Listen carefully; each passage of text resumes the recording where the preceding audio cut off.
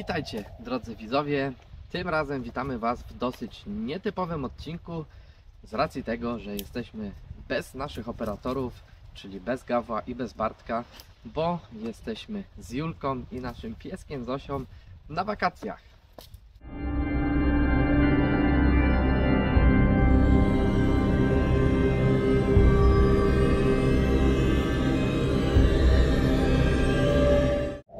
Przemierzając naszą piękną Polskę, znaleźliśmy się w miejscowości nadmorskiej o nazwie Jastrzębia Góra. Jest godzina grubo po pierwszej w nocy i chcielibyśmy Wam przybliżyć jedno dość ciekawe miejsce w samym sercu Jastrzębiej Góry, jakim jest Lisi Jar. O co chodzi z tym miejscem, co tutaj możemy ciekawego znaleźć i o czym będzie nasz dzisiejszy odcinek, dowiecie się już za chwilę.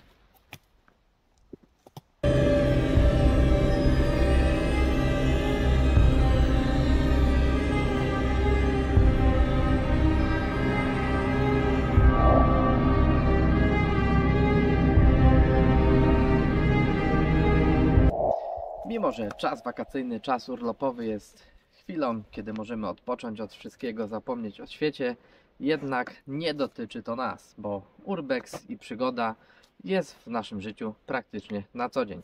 Chociaż miejsce, w którym dzisiaj się znajdujemy, nie ma praktycznie nic wspólnego z urbexem, jest miejscem dość ciekawym, o którym właśnie Wam za chwilę opowiemy.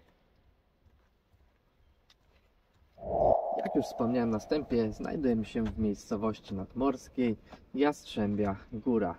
Pierwsze wzmianki o tym miejscu pochodzą z okresu międzywojennego, czyli z XX wieku. Jest to miejscowość stosunkowo młoda. W latach 30. minionego stulecia przeprowadzono na tych terenach badania archeologiczne, dzięki którym odnaleziono oznaki osadnictwa z epoki żelaza. Kolejne badania przeprowadzone tutaj były w latach 70. i 80. i odnaleziono tutaj kolejne oznaki osadnictwa pochodzących z epoki mezolitu, czyli sięgających przeszło 8000 lat przed naszą erą. Znajdujemy się teraz w miejscu, które nazwane zostało Lisim Jarem. Jest to polodowcowy wąwóz, który obecnie liczy sobie około 350 metrów długości, a niegdyś liczył sobie aż 10 km długości. Niestety został on pochłonięty przez morze i stąd te rozmiary znacząco zmalały. Jako ciekawostkę warto dodać, że głębokość w niektórych miejscach sięga prawie 50 metrów.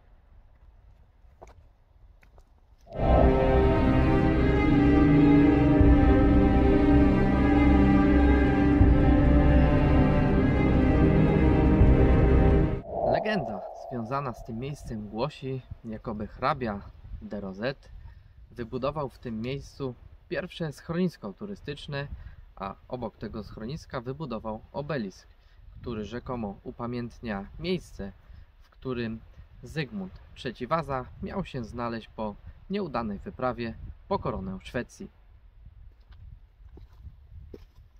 Obelisk ten niestety został zniszczony w roku 1939 po rozpoczęciu II wojny światowej. Został odbudowany dopiero w roku 1995 i stoi w tym miejscu po dziś dzień.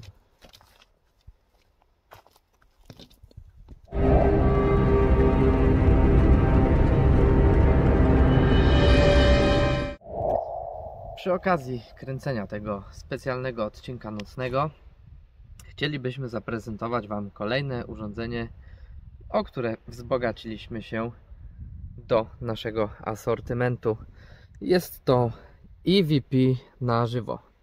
W wykonaniu oczywiście Jacka, Pasja Eksploracja. Jacku, pozdrawiamy Cię serdecznie i bardzo Ci dziękujemy za wykonanie tego wspaniałego sprzętu. Już na szybko tłumaczę o co w nim chodzi. E, jak wiecie, sesja EVP standardowo odbywała się z dyktafonem, później trzeba było odsłuchać, czy coś na tym dyktafonie się nagrało. Jeśli tak zrzu zrzucaliśmy to na komputer, trzeba było dołączyć taką sesję do materiału.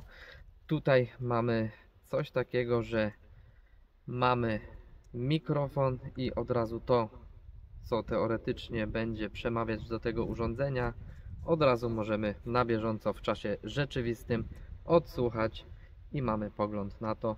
Raz, dwa, trzy. Czy coś faktycznie do nas przemawia. Możemy tutaj także sterować głośnością, czułością mikrofonu, a także regulować zakres echo. I dzięki temu, że możemy tutaj tym echo regulować, mamy pewność, że coś, co tutaj będzie do nas przemawiać, nie będzie to dźwiękami z otoczenia, a faktycznie będzie to próbą nawiązania kontaktu. Dodatkowo Jacek zaprojektował także termometr, który możemy przełączać między jedną a drugą skrzynką, bo wejście jest kompatybilne. Witajcie kochani. Standardowo przeprowadzimy sobie sesyjkę z SB7. Y, Jesteśmy dzisiaj w dość nietypowym miejscu, jakim jest las, ponury las. Zobaczymy, czy w tym miejscu może się w ogóle coś znajdować. No, pewnie wiecie, że lasy są bardzo przerażające. Szczególnie mnie przerażają bardziej niż pałace. No, jesteśmy ciekawi, czy w takim miejscu możemy mieć z czymkolwiek do czynienia.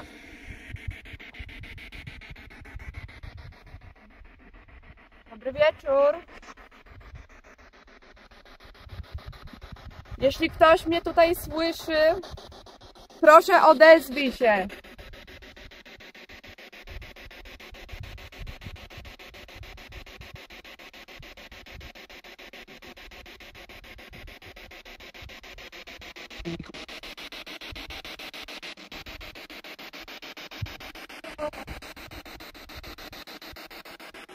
Czy ktoś poza mną i Pawłem? Ktoś tutaj jest.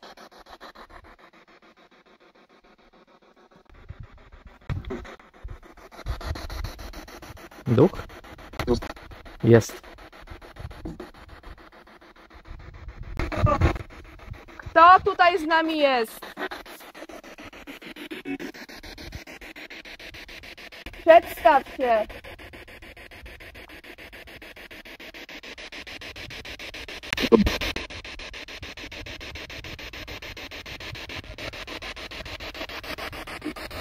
Dzięki temu urządzeniu możemy Cię usłyszeć.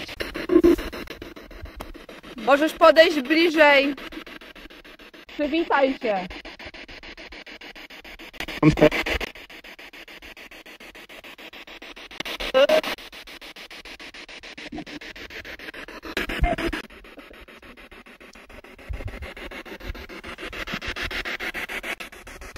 Czy słyszycie mnie?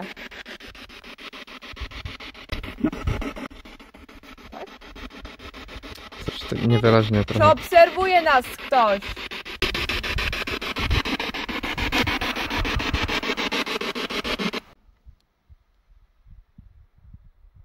Co? Usłyszałeś takie Dzień dobry, ale jakby nie z urządzenia? Potem to puścimy, ale Nie. teraz zasrałam trochę. Ja nic nie słyszałem.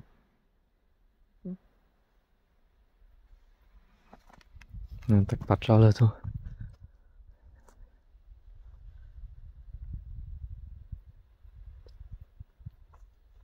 I ten las mnie przeraża, wiesz? No, mnie trochę też. Nie no, ja nic nie słyszałem, ale...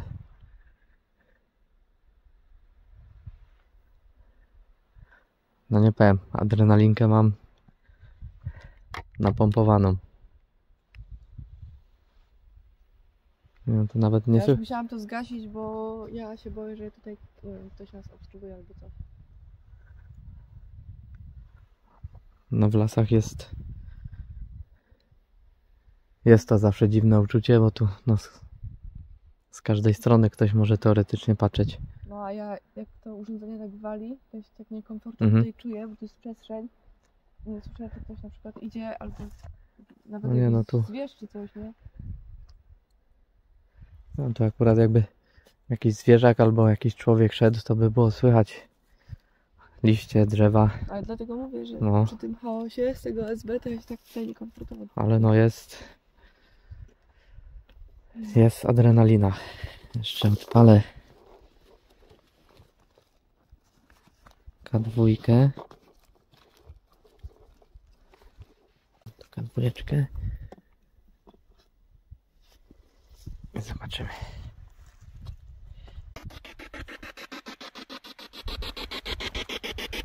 Czy ktoś mnie obserwuje teraz?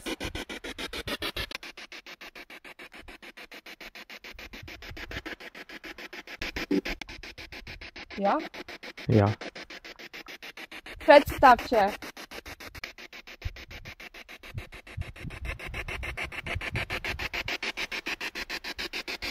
Ja mam na imię Julia, jest tu też Paweł. Jak ty masz na imię?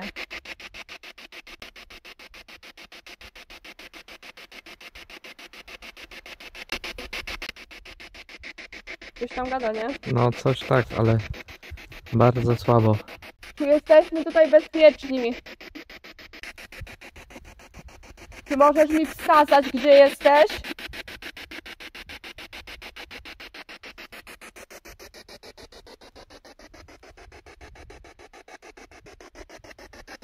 Jesteś do góry? Czy tutaj z nami? Co? No, bo, Zrozumiałam do góry, czy mi się wydawało? no możliwe, ale też takie bardzo, bardzo szybka odpowiedź. Taka chaotyczna.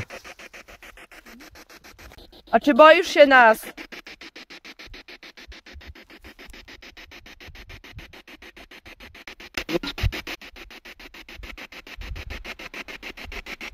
Ile masz lat?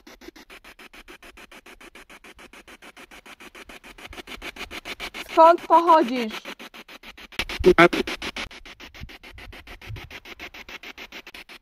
Co przeżyłeś strasznego? Od kiedy tutaj jesteś? Jak ty słychać jakieś tam głośniki, ale No ale nie było jeszcze takiej żadnej mocnej odpowiedzi. Dobra, ja to będę kończyć. Nie to przerażę z tego. Zada jeszcze, Co? zada jeszcze dwa, trzy pytania. Pójdziemy już tam w górę i tam odpalimy EVP i Voxa. Czy dużo ludzi cię tu odwiedza?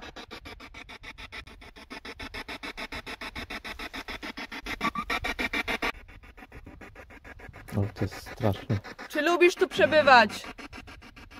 Co to było? Co? To w głośniku? Takie warczenie? Dobra, ja tu kończę już. Dziękuję ci za odpowiedzi. Nie podążaj za nami.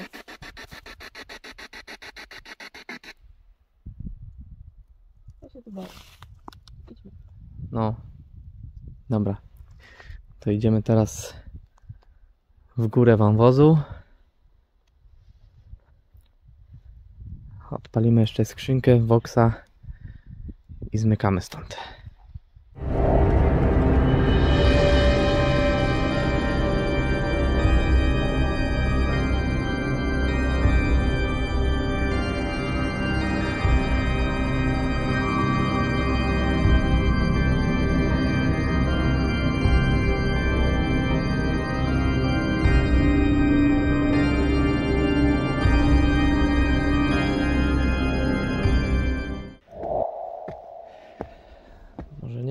Strasznie z racji tego, że boimy się jakichś duchów w tym miejscu, ale strasznie z racji tego, że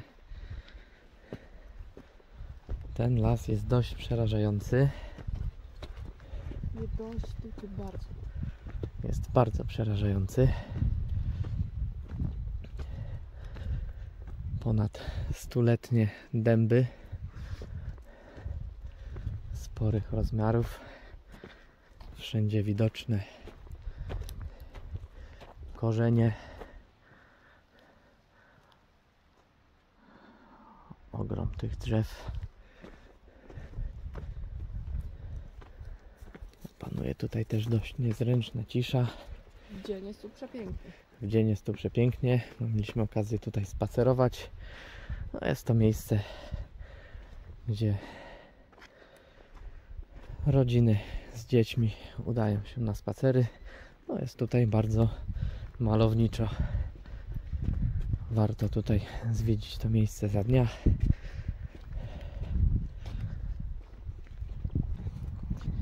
Piesek nieustraszony. Julka trochę przerażona. Za chwilę przeprowadzimy jeszcze jedną sesję z Voxem. Odpalimy skrzynkę EVP. Zobaczymy, czy tego typu miejsce może nam dać jakieś oznaki paranormalne. Ok, przemieściliśmy się kawałek dalej. Jesteśmy teraz już wyżej. Julka odpala Voxa i po sesji z Voxem spróbujemy jeszcze naszej nowej skrzynki z EVP. A teraz spróbujmy przy użyciu wspomnianego Voxa zobaczyć, czy cokolwiek w tym lesie jest paranormalnego. Dobry, wie... Dobry wieczór.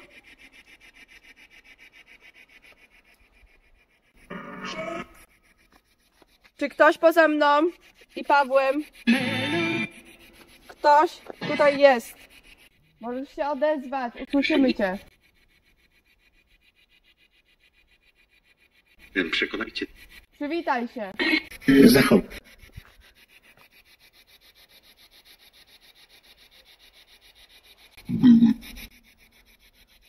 Mu, co to było? Powiedz tak. Jeśli tu jesteś z nami. Ła. Przynapok. I Nic konkretnego na razie. Gdzie się znajdujemy? witamy. Witamy. Witam. Dali się.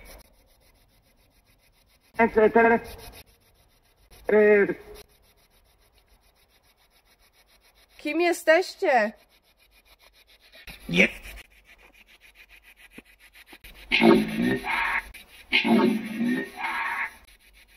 Co? ¿De qué hacer? Proszę przedstawcie się. Jak macie na imię? Skąd pochodzicie?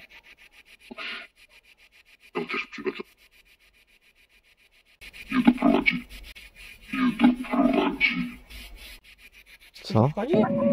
Co cię to obchodzi? Coś takiego, nie? No, Porque ale to był ten sam głos co przed chwilą. Jestem ciekawa, z kim rozmawiam.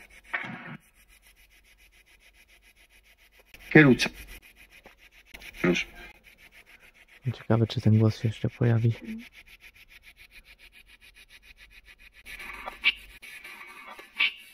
Mężczyzno, czy jeszcze możesz się odezwać do nas?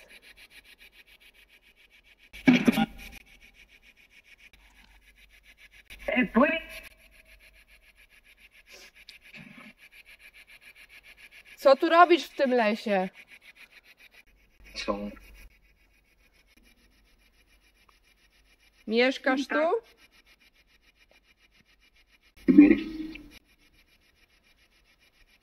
To był ten głos? Nie, inny. Może spytać, czy coś to się kiedyś. Czy coś to się kiedyś stało złego? Słucham cię. Słucham cię. Słucham cię. Czy coś z legendą może No, się dowiemy? Co tutaj się działo ciekawego? Jack. Nie.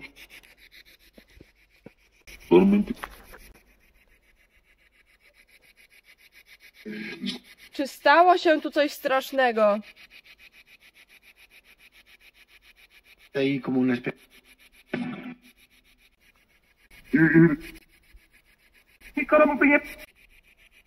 Ilu ludzi tutaj umarło? I wszyscy. Ile lat ma ten las?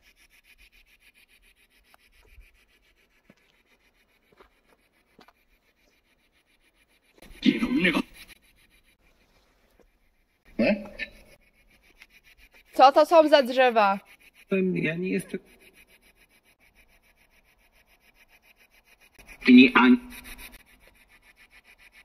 Czy przeszkadzamy ci tu? Mogą oni to.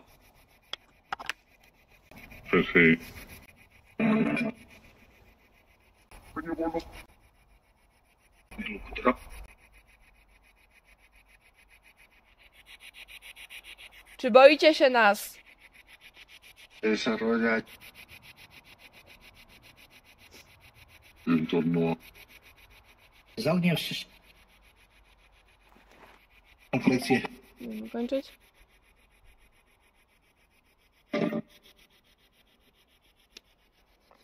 Zadaj jeszcze z dwa pytania i odpalimy skrzynię.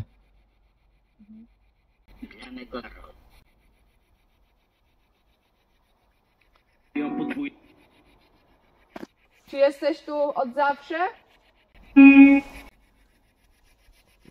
inni stanu. criatura Ile ma, masz lat, mężczyzno? Nic konkretnego.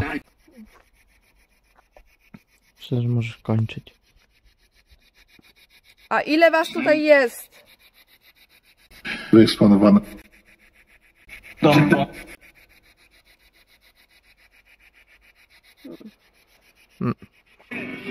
Dobra, dziękuję ci za wszelkie odpowiedzi. Nie podążaj za nami, zostań w spokoju. Jak wrażenia? Tutaj lepiej niż tam dole, jeżeli chodzi o strach. W sensie mniej się boisz, tak? No. No bo tu już jesteśmy coraz bliżej drogi, a tam no to jednak byliśmy pośrodku niczego. Ale sprawdzimy jeszcze skrzyneczkę. Zosia sobie usnęła. Zosia! Stajemy? No, Zosia ewidentnie nie widzi tutaj nic. Piesek jest bardzo spokojny. Dobra, mamy odpaloną skrzyneczkę. Raz, dwa, trzy, raz, dwa, trzy, raz, dwa, trzy. Jest echo. Jeśli coś zacznie przemawiać, to wtedy tutaj te oczy się zapalają i będziemy słyszeć to bezpośrednio na bieżąco w głośniku. Czy ten las jest nawiedzony?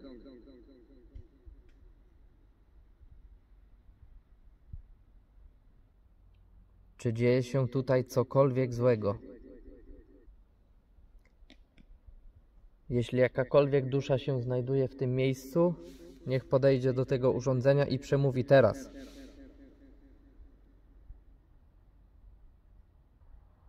Jeśli mnie widzisz, nie bój się. Chcę się tylko skontaktować i dowiedzieć się, czy są w tym miejscu jakieś dusze.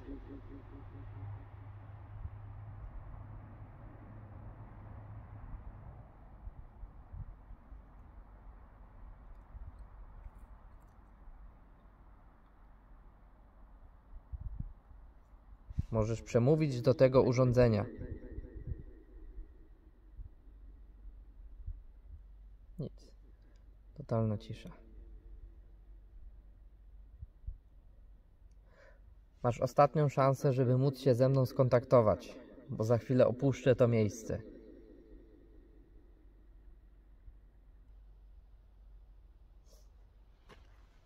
No nic, totalna cisza.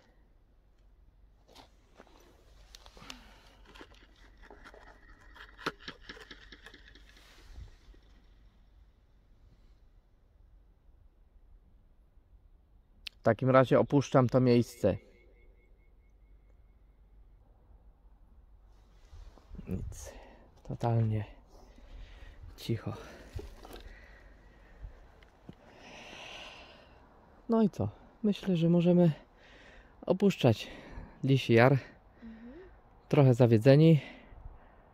No ale nasza ciekawość została zaspokojona. No niestety miejsce, mimo że nocą jest straszne, na zmysły na pewno działa bardzo dobrze, to jednak według mnie no nic tutaj paranormalnego nie ma. A ty jak uważasz? Jesteś trochę przerażona. No przecież ja tu cały czas słyszę jakieś zwierzę gatają. No tak, tak, no bo tu faktycznie każdy czas szelest słychać, no na pewno zwierzaków jest tutaj sporo, Dlatego uciekaj dlatego myślę, że możemy to miejsce już opuszczać. Nawet nie wiem, która jest godzina. Druga. Jest godzina druga.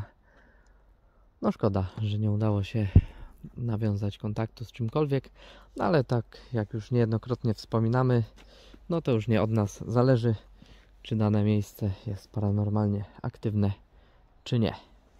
Także dziękujemy za obejrzenie tego odcinka specjalnego, wakacyjnego. Mimo, że powinniśmy odpoczywać, to postanowiliśmy Wam opowiedzieć trochę ciekawostek z tego oto tutaj miejsca. No i sprawdzić, czy może tutaj być coś paranormalnego. Także dzięki za obejrzenie i do zobaczenia w kolejnych odcinkach. Oh.